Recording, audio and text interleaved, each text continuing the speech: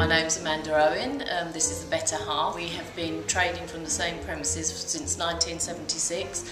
We provide a full fitting service for all our products. Um, our fitter has been working with us for 28 years.